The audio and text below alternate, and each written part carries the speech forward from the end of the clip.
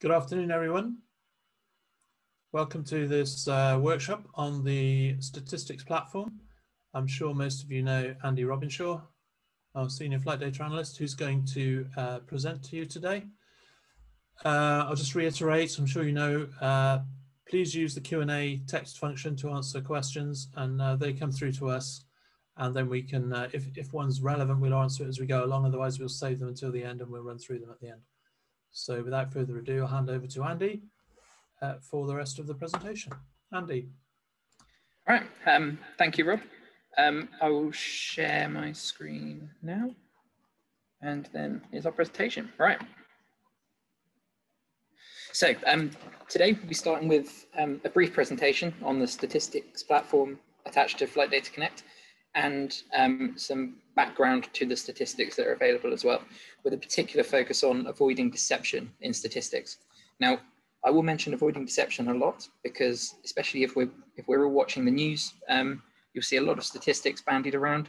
They might be valid, but if they're presented in a certain way, you can um, make your statistics misleading very quickly, um, and especially on sort of live broadcasts because you're not giving people a long period of time to look at the statistics and taking the information, um, it can be all too easy to come up with a wrong conclusion. Okay, so today, as I mentioned, we'll be doing a statistics refresher, a little bit about data visualization and creating um, sort of a good chart that effectively gets your message across and avoiding deception, and then how this all relates to your statistics in Flight Data Connect. So to start with, we'll be looking at things like event counts, event rates, um, the normalization of your data. So if you're a big operator flying hundreds of thousands of flights a year, how do you compare yourself to a smaller operator, maybe only flying 10,000 or 5,000 flights per year? You can't just be using your counts there.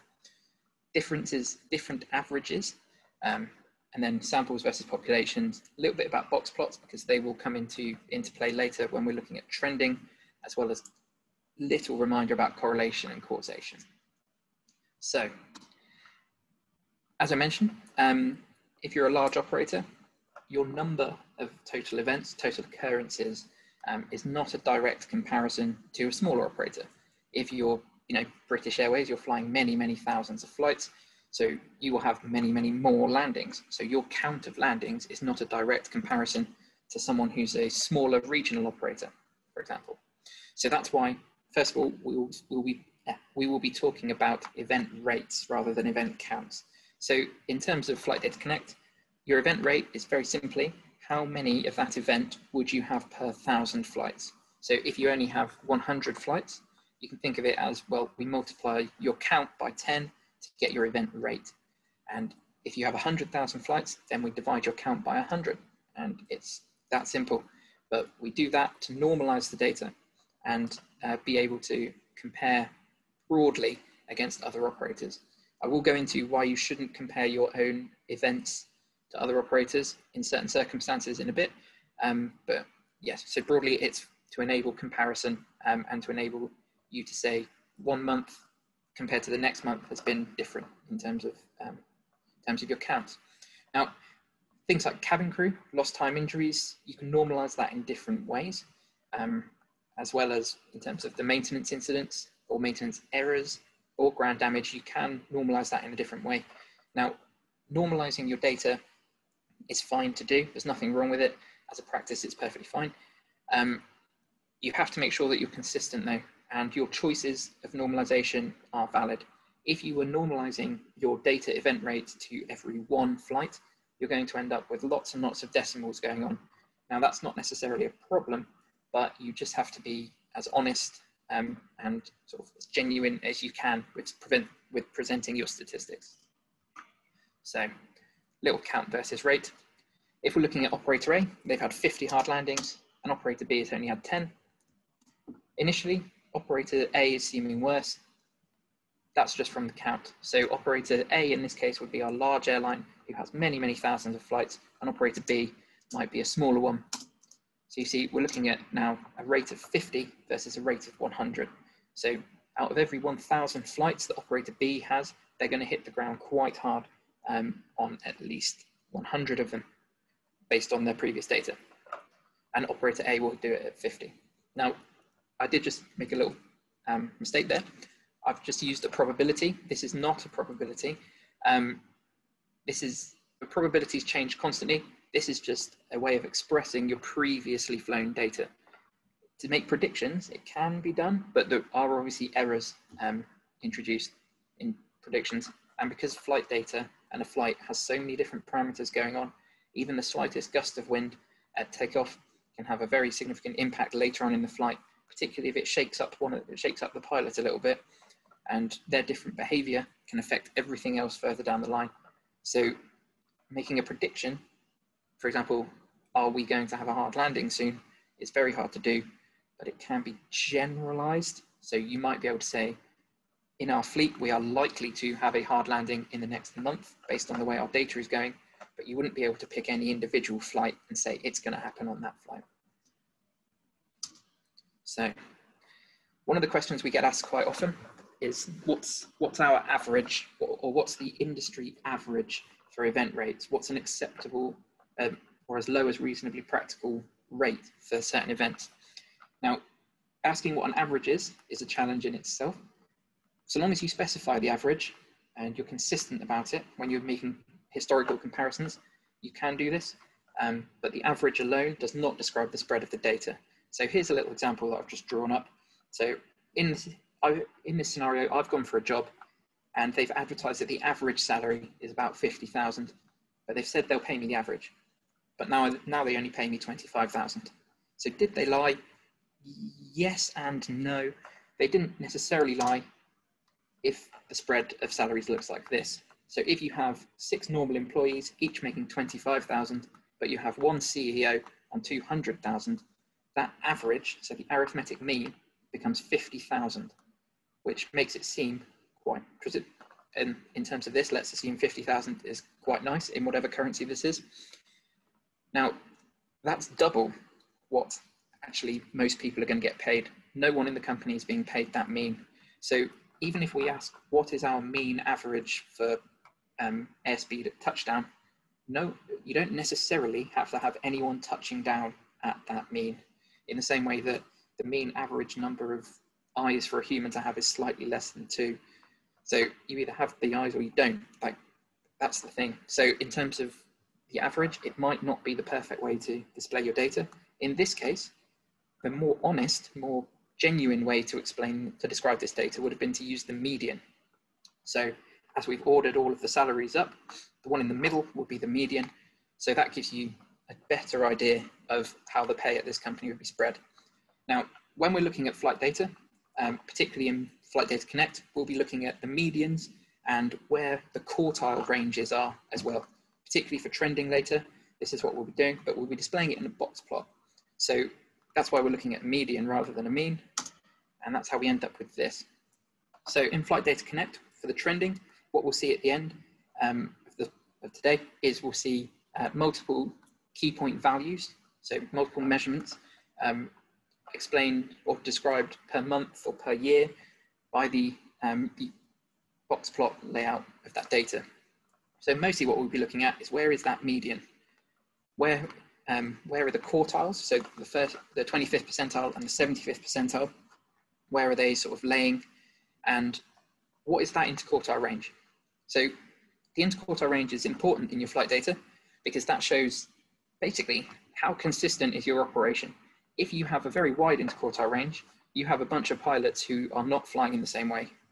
If you have everyone bang on top of each other, that's pretty much ideal, so long as they're on top of each other in the exact place that you want them to be. Now that can never really be achieved. That's why we see um, distributions. Often it's a normal distribution, but slightly skewed so sometimes in certain directions. But yes, so that's why we'll be seeing a distribution because humans make mistakes. And as I said before, that, that slight mistake way up the approach can lead to a different landing than if, um, if there was a slightly different input further back. So last reminder, um, before we do data visualization, correlation does not equal causation. You'll hear this often and again and again and again. And if you ever go to a statistics presentation, this will be one of the first things that they'll say. Um, I could find things that correlate till the cows come home. We can make things look like, if we present them in a certain way, we can make it look like US crude import, crude, US crude oil imports from Norway cause drivers to be killed in collisions with railway trains. Now, in this case, they're not linked. We can look at the data subjectively say, and say, even though the correlation is quite strong, we see at the bottom there it's 95%, even though it's a strong correlation, these two things are not inherently linked. So that's why, that's one of the key um, inputs that you, you guys will have um, when you're looking at your flight data statistics, because you can make it look that, you know, a certain, um, a certain procedure to do with cabin crew and tidying up the galley has a certain impact on landings because you can you can correlate things and if they do correlate it's very easy to say ah yes this procedure or this new um, briefing that we've been doing has this impact. Now where you come in and where the value you, you add is is that you can add subjectivity to that. You can say yes this is this um, trend is happening since we've introduced this but that new procedure doesn't actually impact this, or you can start to explain why it does impact that. And it's those sorts of differences that the most valuable thing you can add here. Which brings us on to data visualization. So we can just present a graph if we wanted to, or we could just present some box plots. But really what we're trying to do is present new information to people and we're trying to inform them about um, a particular scenario.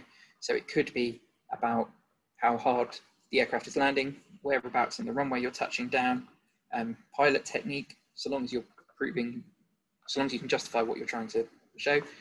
Or you might even think of it simply as your emojis. Now, all you're doing is showing information. So I'm happy, or I'm finding this hilarious, or it's my someone celebrating something. You can get that information very quickly from these little images. So nothing too complex. You don't need an explanation you send one of those emojis, people know what you mean.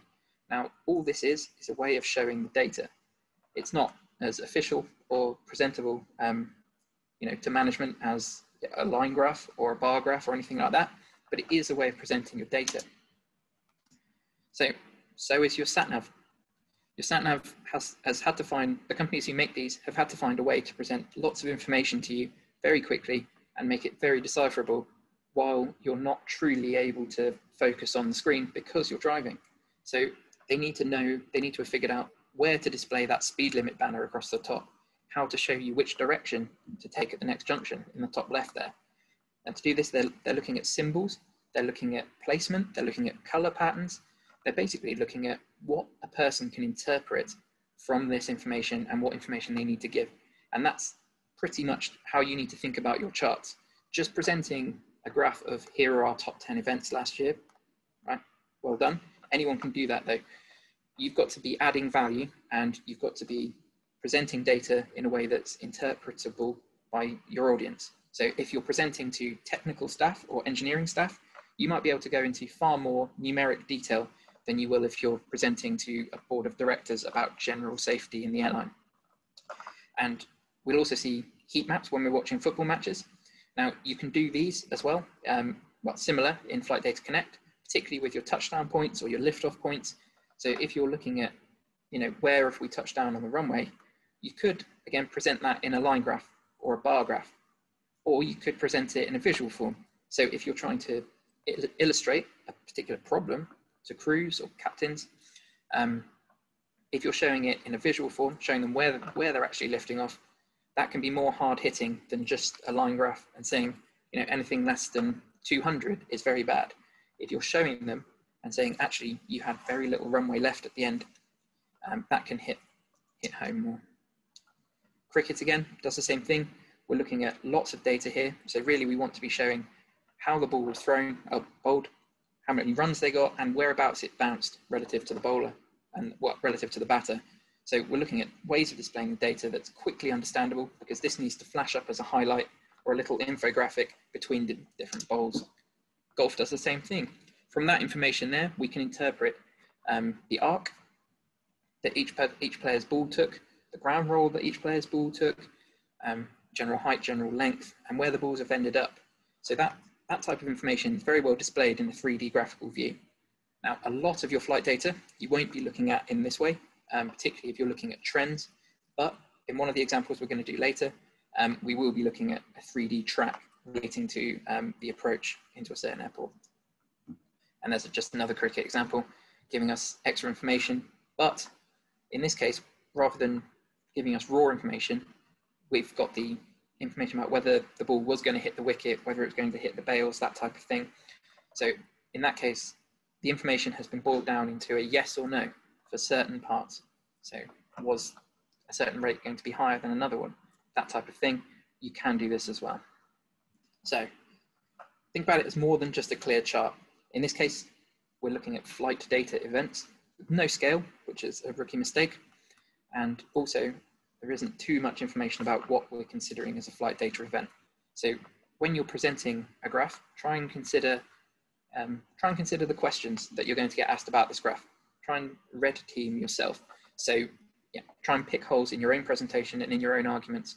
And if you're presenting something important, try and get other people who know about the subject to try and poke holes, to just tear apart your argument and your um, point of view, and then you'll be able to identify any weaknesses and try and help yourself out. So, when you're presenting a chart, such as this one, computing power is increasing year by year. We know that. Um, we can see that all around us, but we want to present that in a data form. So in this case, I've plotted transistor count against the year. Well, I haven't plotted it, I've got the graph, but yeah, we've got transistor count versus the year. Now, when I say, what is your big idea? Try and put that at the top. Try and have that as your title. We can also have, you know, a graph to show transistor count versus the year, um, but try and give an explanation. So explain to me what you want, what you're trying to show with this data, and then provide me with the data and then often underneath, you'll see, yeah, that's where the explanation will come in. So maybe we see uh, an anomaly and we might be thinking, well, you know, this was designed for a different, um, a different purpose. So that's why it's here. So yes, we can highlight anomalies as well on our charts. What you'll see here, what's interesting here, is that my scale up the side is non-linear. Now, you don't need to have a linear scale. You can do exponential, like we have here. So every major line um, is actually a 10 times increase in transistor count on the previous major line. Now that's fine, so long as what we're trying to show uh, fits into that. So in this case, when we're looking at a straight up diagonal line based on an exponential scale, if we put that as a linear scale, we would see a lot of flat uh, towards the bottom. We'd see until about the mid 90s here, we'd see a lot of, actually until about early 2000s, we'd see a lot of flat point, a lot of points across the bottom, and then it would shoot up towards the right-hand side of the graph. Now, that's not really what we want to present here. We want to show um, the continuous development. We don't want to make it look like in the mid 2000s, everything just shot up. So that's why um, picking a scale can also be important. And this brings us, brings us on to avoiding deception. Do we have any questions about previous stuff. Um, we've got why use a thousand sectors in calculating the event rate. Um, this is just an industry standard. It could have been per 100 or per 50. It's just per 1000. Um, it's quite a nice round number so that when we're looking at, when we're talking about, you know, 90.2% of my flights have at least one level one event on them, you're actually not talking about a decimal. You're talking about you know 902 out of my thousand. Um, have that. It's just 1,000 was a nice round number. Um, it's easily divisible and easily multipliable. So that was chosen for those. All right. So um, avoiding deception, whether deliberate or accidental. So um, I think I'm going to release a poll right now. Heather? Going to release a poll right now. There we go. yeah. Um, yeah, so we should have a poll appearing on your screens soon. Is it up?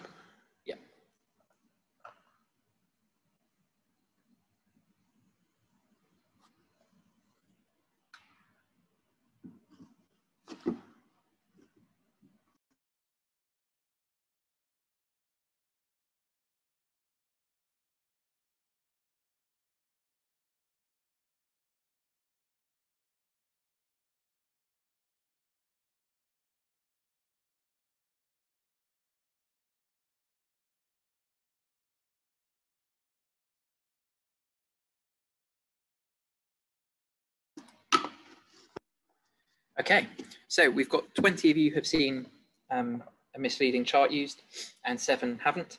So I could start saying you know, most people have seen a misleading chart used, but again, that would be me using a misleading chart.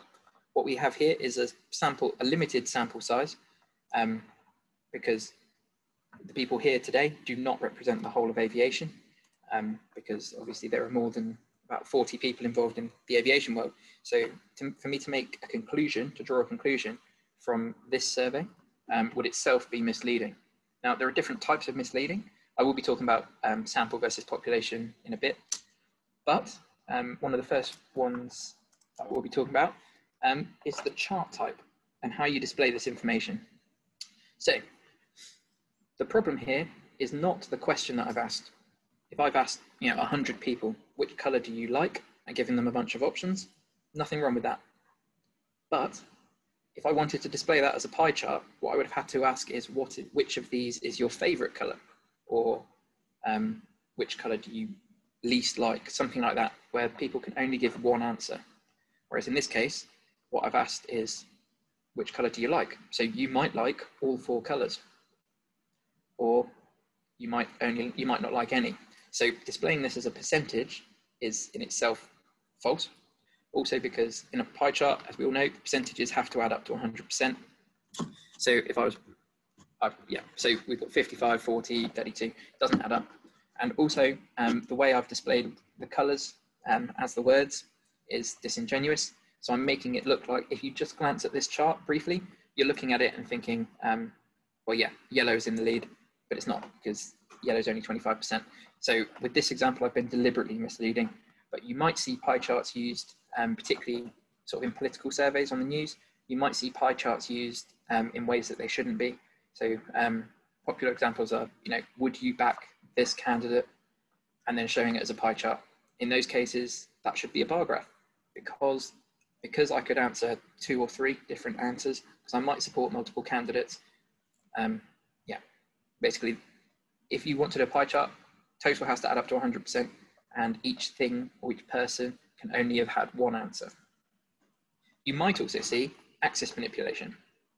So if I was to present these two graphs um, in, a, in a meeting and not really put them up on the screen for too long, um, so that people don't truly get to take in the information that I'm showing them, they might think that actually the unstable approach rates were broadly the same across our A320s and 777s. What you see is the, the y-axis has been manipulated in this case. So I've deliberately um, made the triple sevens look worse than they were. They were always about half of what the A320s were for this rate. So I could have displayed both of these on the same chart, um, so long as I labeled my lines to say this is the A320s compared to the triple sevens and that type of thing. We'll also get the point of, um, in this case, I can do this. I can link them, link the points as a line because it's a continuous, so the x-axis is a continuous scale if I was going back to my previous question um, about which color do you like, I could not link those across um, each x-axis point because green does not merge into red. So you can't be, you can't, in the questionnaire that I've asked, you can't like 90% green and 4% blue, that type of thing.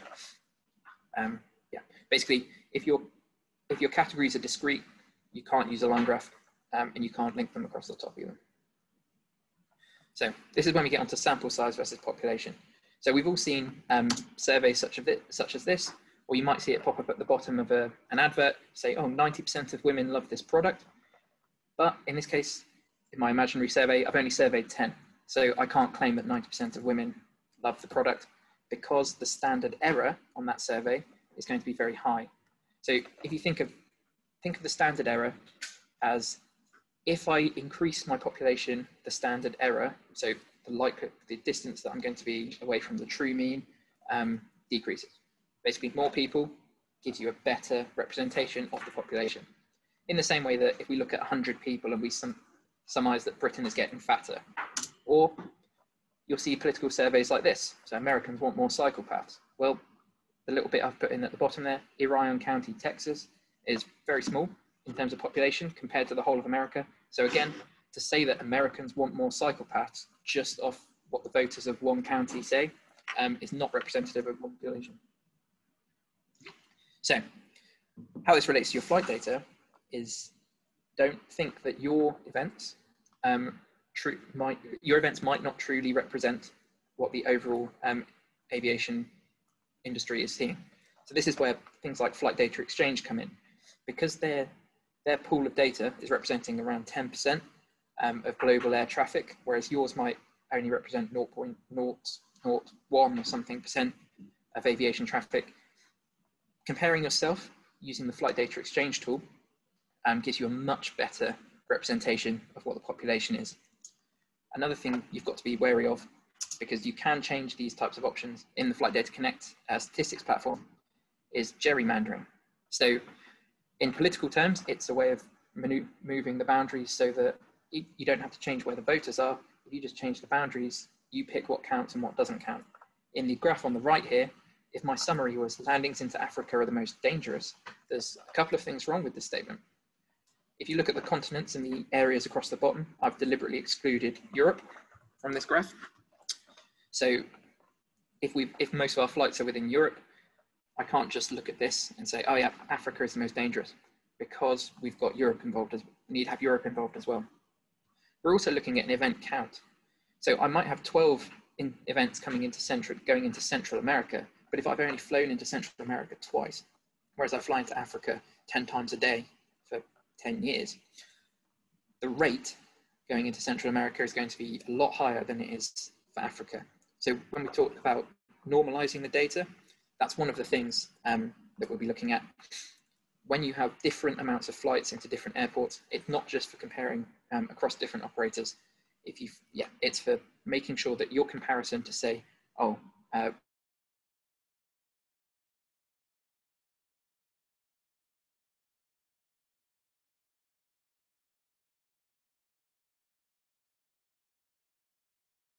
you guys being honest with your statistics, you can make your data say almost anything you want it to, so long as you manipulate and cherry pick certain things.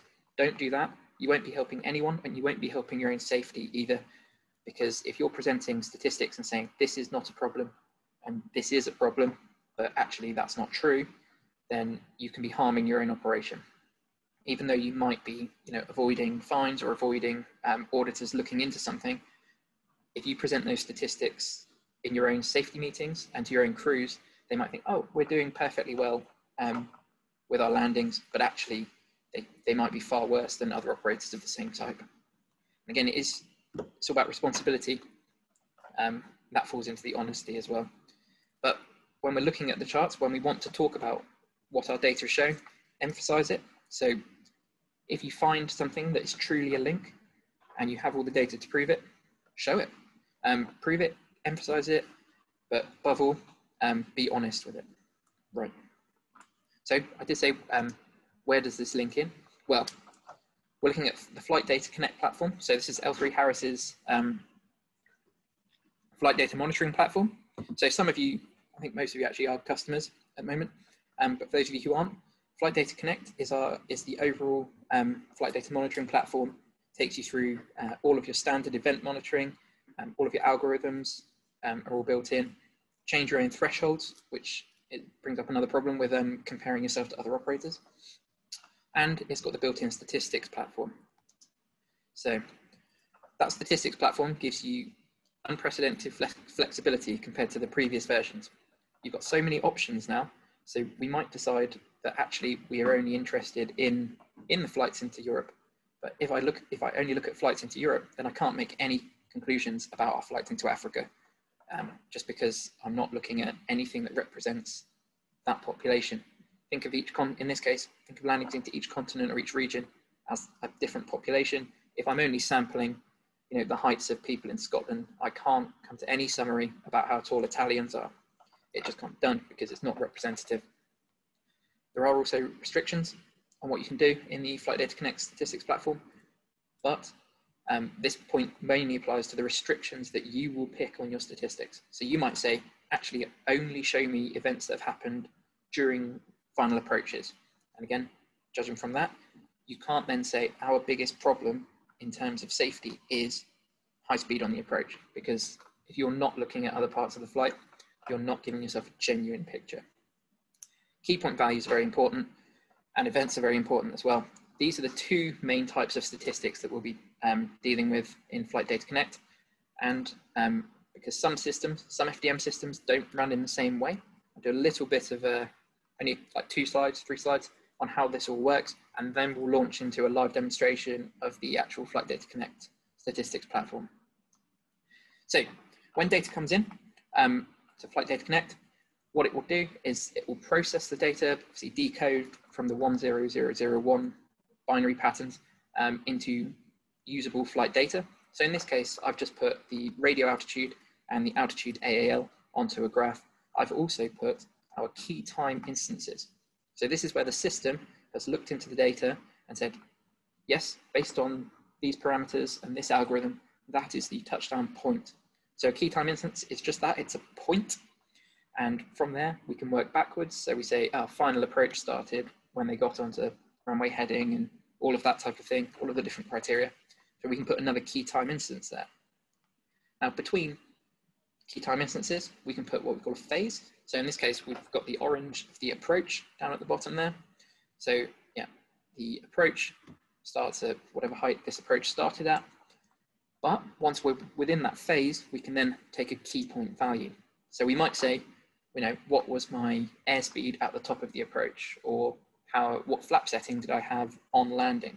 And that would be a key point value. So these measurements are taken on every single flight, regardless of whether there's an event associated with them or not. Just to give you a bit of perspective, on a trip on a 787, you can expect about 700 of these measurements per flight, depending on what's happened on the flight. So things like you know ground speed, touchdown, flap, touchdown, that will measure will always be taken, and that comes in handy when we're looking at key point value statistics. So if I've got hundreds of thousands of flights, I can now start to plot the ground speed at touchdown on every single flight onto a histogram or into a box plot. And this is how we can do our trending. You should never really trend off of your events. Your events give you something to, they point at something that might be interesting. And then for your trending purposes, that's when you go in and you look at your key point values. So we'll do a bit of that in a minute as well. But all an, all an event is, is a limit or a threshold that you set on one of these KPVs. So if I wanted to, I could say, actually, I don't want my aircraft to touch down in weather that's hotter than 25 degrees. Um, that'd be fine. It would be strange as a limit, but you could do it because that measurement is taken here. So you could set a limit or a threshold on that. But all that looks like is this. So here we've got the green limit, so level one, or it might be called a green or an A in certain um, systems, orange or level two, and red would be the level three in this case. Now, you, in Flight Data Connect, so the L3Harris system, you can customize all of these thresholds. Andy, also, just uh, just for about 30 seconds there, we just lost you, froze, so we didn't hear that. Okay. Um, what was the last bit that you heard? Uh, I can't remember exactly where you were, to be perfectly honest with you. We lost about 20, 30 seconds. Okay. Um, oh, yeah, I'll just go back a bit. So this is where you would um, pick which events you want to monitor and which thresholds you want to monitor those events to. So you might say the maximum airspeed I want my pilots to be at during final approach is 150 knots. So you would set that limit in here. Now, if you were looking at your event rate, so your the number of times that triggers per thousand flights, that's, that's fine. So long as you keep that event and that threshold set for a very long period of time, you can then start to compare month by month. But now, if you as an operator come to compare that event rate with my event rate for that same thing, that's where the comparison is completely invalid because I can have picked, I might have picked 140 knots. So now we're not comparing like for like anymore. That's where um, the IATA Flight Data Exchange Program comes in because they use the same thresholds for the same type of aircraft. So all 777s will use the same threshold. So when you're comparing your event rate to other operators, you might see, ah, we're triggering more of the high speed on approach events than other operators. You know that other operators are all using the same threshold as well for this. So that's, that's a way of spotting um, some trends. And really, the only way to compare your own event rates to other operators is through the Flight Data Exchange program. Now, you could compare your key point values to everyone, and that would be a, that's a valid way to do a direct comparison. Um, but yeah, really, the, if, if you want to compare events, that's uh, the IATA Flight Data Exchange Program. So this is where we jump into it. The Flight Data Connect um, statistics platform. So there are different reports available. There's the events report, the key point value report. They're the two we're going to be most interested in here. We've got the aircraft report, fuel burn, crew report, flight report. Now, all of those are available. Um, I think the fuel burn is an extra, it's a paid add-on, but the crew reports, so long as you send us crew information um, about who, which crew members were flying certain flights, if you delve into the crew report, you can start to look at ah, certain crew members are triggering you know more of the unstable approach related events than others are. Some are flying their approaches quicker than others relative to the target speed. Some are coming in steeper or with a greater rate of descent. That type of thing um, can all be done in the crew report. And then if you start to look at the key point values and that crew member's spread of key point values, you can see actually this pilot is um, is trending upwards, for example. So they're getting, are they taking more risk or are they just getting a bit more confident? Who, who knows? Um, but that's when you adding the subjective uh, value to the, the data presentation um, comes in handy. So I've got one, okay, right. So if there are there any questions about that presentation before we go into um, the live demonstration?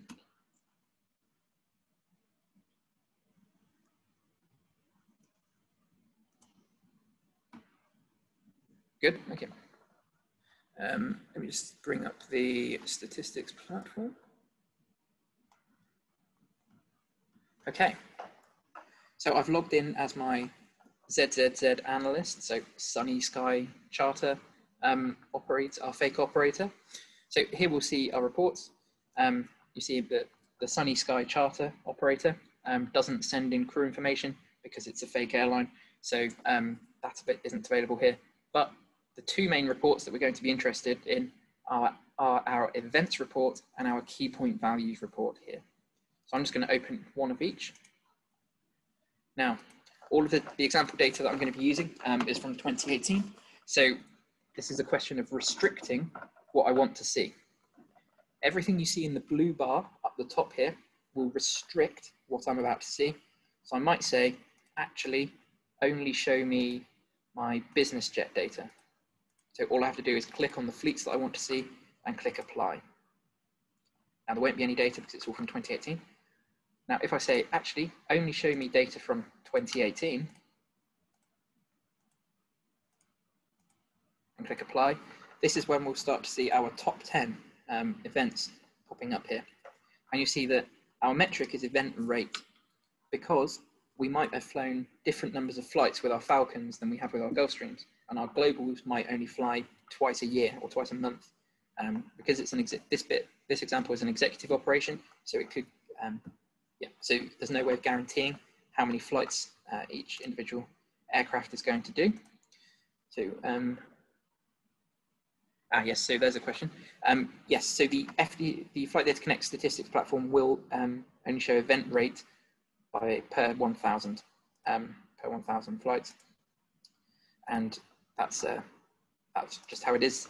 But if you wanted to see in different ways, if you wanted to think of it as per 100, then um, just divide by 10. That's why we that's why the per 1000 is a standard sort of industry rate because it's quite nice and easy to use. Now in this case, I'm showing all of my level ones, twos, and threes up on here. But if I wanted to, I can restrict myself even further. I might say, don't show me the level ones, and then I just click apply, and we'll see a new bar graph will render below. What I could do is go for something a bit dishonest and show a line graph. Now, I mentioned the um, be careful about dishonesty because this now is quite dishonest. So what, what I'm sure, what I make it look like is that there is some kind of trend down towards the right hand side here, but there isn't because a rate of climb high 1000 feet before level flight has no link whatsoever to whether you landed a bit slow relative to your target speed. So this is the type of thing where we come up with a chart type selection error. Whereas really what, what we have to look at here is we can look at column graphs. Um, column graphs or bar graphs would be the best way to display this type of information because I'm looking at um, which individual, so which discrete event, because no event can be halfway between these two, no occurrence can fit, you know, halfway through here. I can't link those up. I could display this by event count if I wanted to. So the important thing to remember is, again, everything up the top restricts the data. Everything we do down here is just a different way of displaying that data that we've restricted ourselves to. We could, um, further down, if we use this drop down, we could restrict ourselves to, you know, only show me data from an aircraft operating a certain engine type, or only show me a certain event. And we'll go into that in a minute. And that's why, um, yeah, that'll be in a minute. Right. So now I've just, all I'm going to do is restrict myself to my level threes. And when we're down on this sort of chart, we can zoom in if we want to, um, or we can zoom in on certain areas. So again, the way I could be you know, dishonest with my data is to click and drag and zoom in. Now suddenly I'm presenting the top nine, but if I change that to you know 20 and did it like this, and then presented that in a meeting of our top 20 events, not many people are going to count the number of columns that I've got, particularly if I flash it up on the screen and I'll do it quite quickly. So this is where um, the honesty comes into it because it's quite easy to make charts that are misleading but don't. So the flexibility here is very useful when we're actually doing proper analysis, but if you're not careful, um, it could also be used um, for nefarious purposes. So in this case, we'll see that we've got our unstable approaches as our second highest. So we'll remember that in a minute.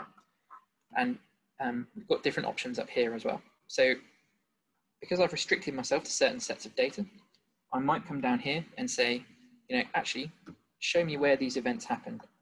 So I will be clicking through semi-quickly with these options. Um, but yeah, so I'm actually going to want to see an event count. Um, show me, show me all of all of my events, all of my level threes by the country that they happened in. So it's just a lot of this is just um, learning which which options suit what you want them to do. So just have a play around, have a look at different things. You can't break this.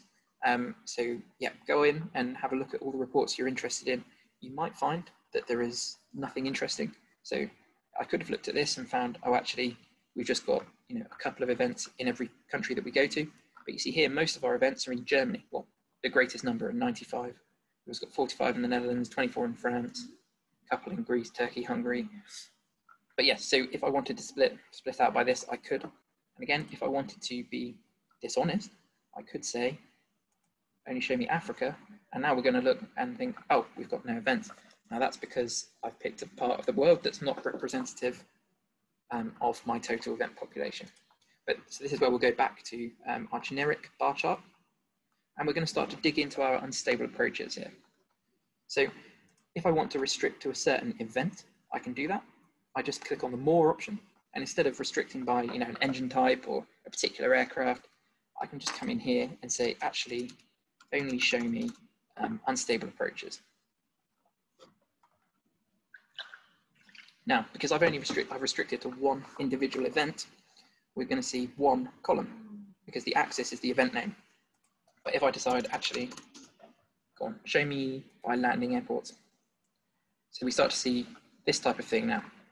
Now we're seeing 1000s here. So this means that we may have flown there once and we've had one level three unstable approach which doesn't give us um, a true representation. So I could say, show me by count, or I could say, actually, only show me places that you know I've flown to more than 10 times. So now we've given ourselves a wide, a, a bigger data pool. So these four airports that we have up here, we've flown to more than 10 times, and we see that EHAM comes out way in the top for unstable approaches. So we might, we might want to dig further down and look at the runway and we see EHAM 04. So this is the one that's triggering a level three approach, uh, level three unstable approach every time we fly into there, and we've flown there more than 10 times. So the only other place we've flown more than 10 times, we don't have that many um, unstable approaches. So this is when we would go back into our um, into our regular, you know, Flight Data Connect platform, and we would come up with um, a search. So we'd search for show me all unstable approaches um, landing into into Schiphol, so EHAM 04. I've done search already. and we come up with this. So we could now start to look into each individual flight. This is relating um, our statistics back to an investigation. Um, yeah, we can go into each individual flight and we're going to see certain events. So we see high roll, unstable approaches, and heading variation. We see unstable approach, heading variation there, unstable approach and heading variation. So it's looking like um, we're doing a lot of late turn-ins um, onto these runways. So what we can do, um, if we tick everything and we click the visualization box at the bottom, we can actually download the Google Earth tracks. Has it No. Sorry about that. I'm actually done that. I've moved my mouse onto the other screen. There we go. We'll click on that. Uh, if we just leave everything smooth, and then, yeah, so we'll be downloading um, some Google Earth tracks here, which we'll be able to look at in a minute once they've uh, finalized. So yeah, that's how we might look at um, a particular event. Now, we could say, actually, show me, again, all events. So if we wanted to do um, potentially misleading trending, that can also be done here, um, but there are ways to do this trending honestly as well. Now, instead of the axis being the landing runway, if I said, uh, show me by month, now what we're doing is we're looking at the, um, we're looking at the order, so we're looking at the top months, because I've set the order to be show me the top, so it's not in chronological order. Um, show me the level three event rate by month. If I wanted to, I could say, uh, just show me all, and then this will show in chronological order. So you might have targets of event rates to hit per month. See October's nice round thousand there. Um, yeah, so you might have a target to hit. So if you create this type of chart, so if once you've got your thresholds and events set how you want them to be, um, if you create this kind of chart and then draw on your you know acceptable line there, um, that's how you can come up with your information. And if you're zooming in on certain areas, you might want to move the axis up, but again, make sure that everyone knows that you, you've changed the axis. Rebasing the axis is always a bit of, um, bit of a questionable subject anyway. Right, so uh, let's see if that downloads right then. I'm just gonna get rid of that. So yeah, now the other type of trending we'll be looking at um, is key point values. So really the only true way to do your trending is through the key point values. If you think of the events as pointing you uh, in a particular direction or giving you something that could be interesting to look at, then uh, you'll be coming here to your key point values for trending. So I'm just going to pick, um, I'm going to pick my Falcon fleet here just because I can. While I open up, that. Ah, yeah, sorry, here's the, here are the visualizations I've just downloaded of the uh, of the aircraft tracks on our unstable approaches. So you see we're landing into Amsterdam Schiphol here, um, runway 04.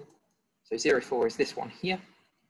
So when we're triggering all of our late turns, our heading variations, our high rolls close to the ground, that's because we're following this approach where we come in and we're making a late turn in.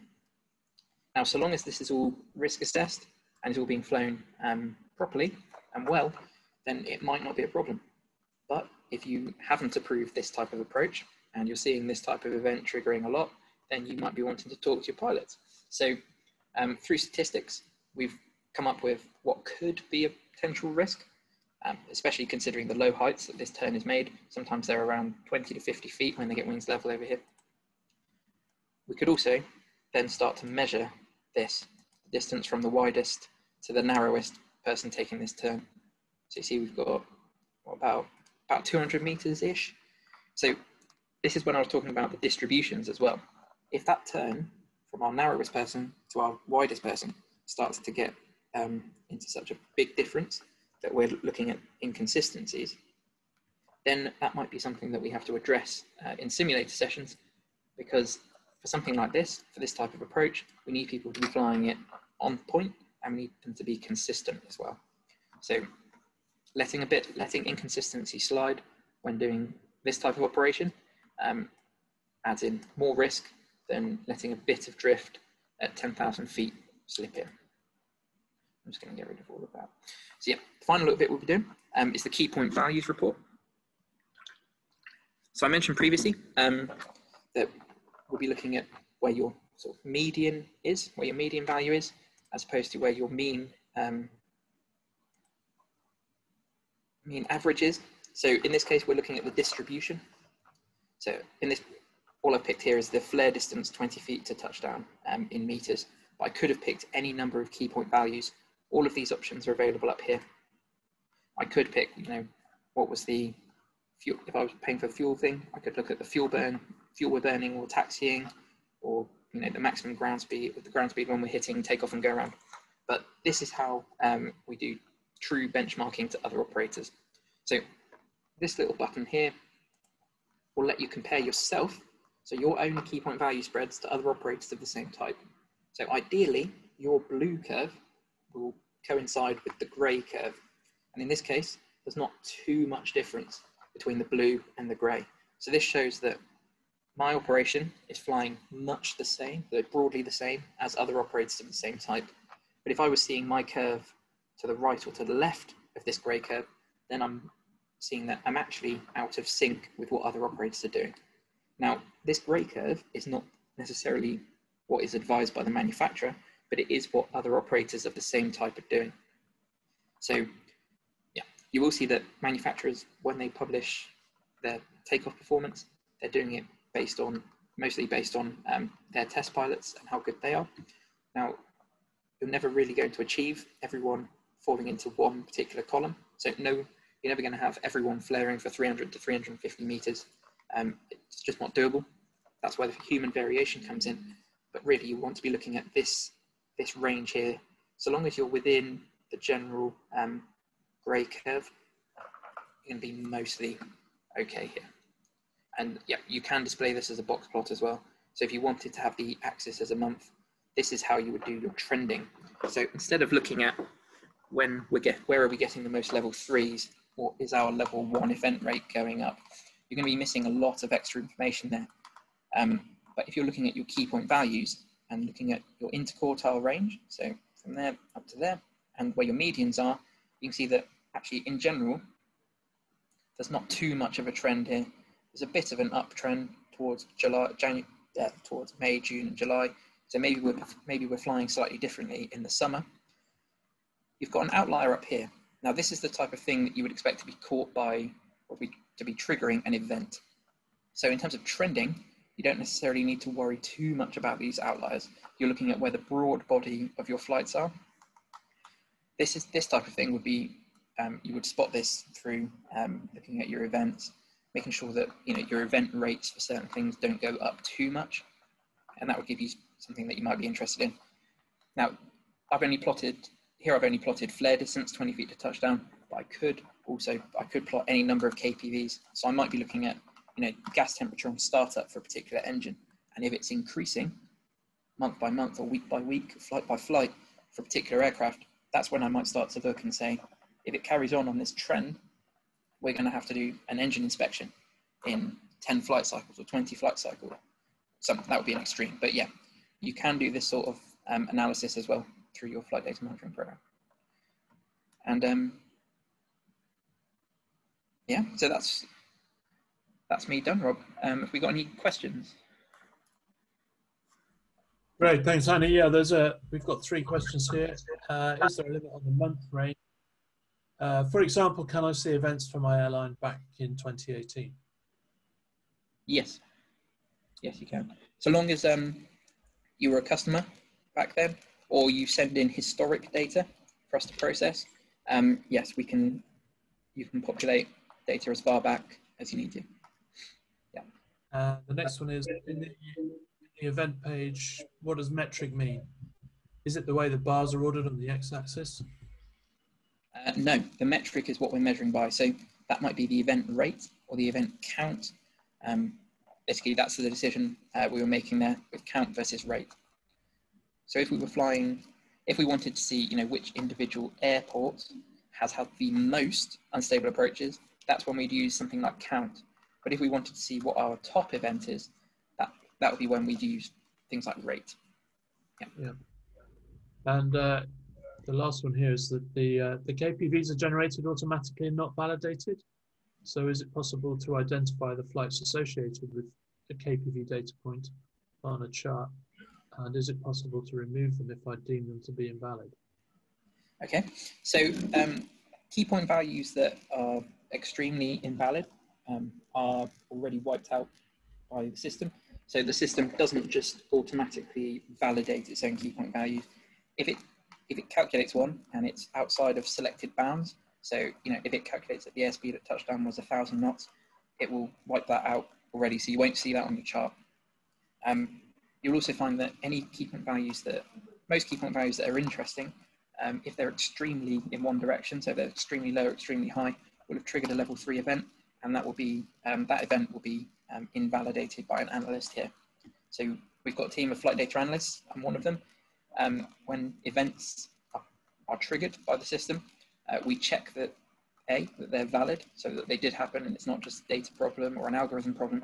And then we add extra information. So in terms of a comment, um, if you're joining for the analysis investigation uh, webinar tomorrow morning, you'll see an example of that. And we'll do a little live demo of what we do um, when we're checking an event.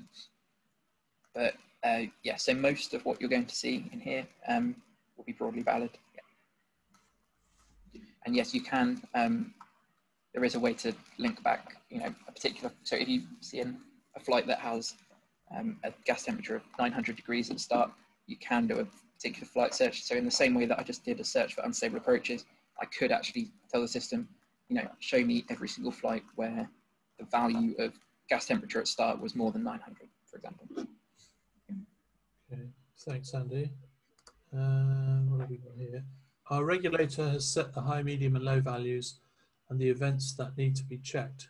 So, in such a case, how would you configure events? Okay, so if you're a member of the IATA Flight Data Exchange program, um, that analysis specification, so the set of events and the thresholds that that program will monitor for you, um, is very much set. You won't be changing those. Um, that's so you can compare yourself to other operators of the same type. Now, if you wanted to set your, your thresholds in the Flight Data Connect part of the service, um, not a problem. Let us know what limits um, or what your regulator tells you to monitor, and we can set you up um, with specifically what they want you to monitor. So if they say, you know, you have to tell us if you have a landing more than 2G, not a problem. We'll set a threshold at 2G so you can then run a statistics report later on um, to say, ah, yes, this is the reports we have to, uh, the events we have to report. I should, I've actually completely forgotten to mention the bookmarking feature. So up in the top right here, if I find a chart that I'm particularly interested in, so this, let's say it's this one, I can, I've just got to move the zoom thing down. I can bookmark this. So if I say, you know, uh, call that flare, call it, call it flare, and I'll bookmark that when I log into the system, um, I will be greeted with this page here. Now, just F5 that quickly.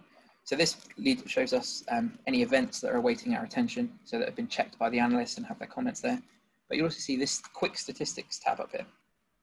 So all I've got to do is click here, and on the left-hand side, we'll see, think of this as quick stats. So I've just made a flare bookmark. So all I've got to do is click on that, and that chart generates there. So if you've grouped um, if you have certain events that your that your regulator wants to monitor, let us know, or you, you can do it yourself. We'll teach you how. Um, you can set yourself up a little chart so that when you log into the system and you have to prepare a report for your operator uh, for your regulator, just click, uh, open up your quick chart, just expand it a little bit, and then you can just download that um, as an image, very quick, and it will just pop up as a little image. And if you need to, you can export that um, in any way you want or you can amend your chart uh, in the statistics platform down there. So yes, um, yeah, if your if your regulator tells you to look for certain things, um, do what they say, and uh, we can help you out. Okay, thank you. Uh, next one, can we invalidate an event, or is it only done by you, unless? Uh, you can invalidate the event. Yes. So there is an operator invalid feature available. So when I was looking at particular events, um, I don't have, on this account, I haven't put that permission there, um, but I would see, we'll just pick any random event that pops up. Would have ZZ, it would have Ziggy. Um, so yeah, at the moment I will see that this event is valid and it's open. But if I, if I had assigned the relevant permission to this user, I would see an extra button next to it that says operator invalid. So if I was triggering, you know, a heading variation event while on the Canarsie approach into New York and to JFK, you're going to have a heading variation there because by definition you will have a heading variation. I could operator invalidate that. Or if you if you find yourself flying a particular route very often, uh, you can patch on a particular event. So I could say, actually, don't trigger this event if landing into a certain airport, um, or use a different threshold for a different for a certain airport. So yes, in short, you can um, have the invalidate option. Thank you. And uh, you'll need your crystal ball for this one, I think. How do you see the future of safety aviation statistics regarding quantum computation and algorithm development? Right. Um, personally, it might seem a bit short-sighted, but I don't anticipate you know, quantum computing impacting flight statistics too much. Um, it will add computing power, no doubt, um, but yeah, nothing miraculous probably. Really, what I think is going to be one of the major turning points in um, flight safety statistics in the coming years will be um, artificial intelligence and machine applying machine learning to this. So being able to spot, um, I call it strangeness. So being able to spot when um, a certain parameter, so it might be the elevator on a particular aircraft, isn't responding to um, inputs similarly to how it previously was, or anything like that. So yeah, um, yeah, I would say the only real advantage of quantum stuff would be um, to do with the increased power that it could give um, machine learning. Okay, thanks. Um, can uh, can we have different event thresholds configured for different airfields? Yes. Short answer, yes. Um, you can have it for different runways, different airports, different aircraft. Um, yeah, basically. Whatever you need us to do, um, just let us know and we can set that up. And someone's asking if they can access the presentation, and yes, they can. We will send a link to the recording uh, at some point uh, in the near future. So that's the last of the questions, Andy. Thank you. Thank you very much for a great presentation, and thanks everyone for attending. We'll wrap it up there and have a nice evening. And I guess we'll see you, or not see you, but we'll we'll we'll, uh, we'll be here with you tomorrow. Thanks.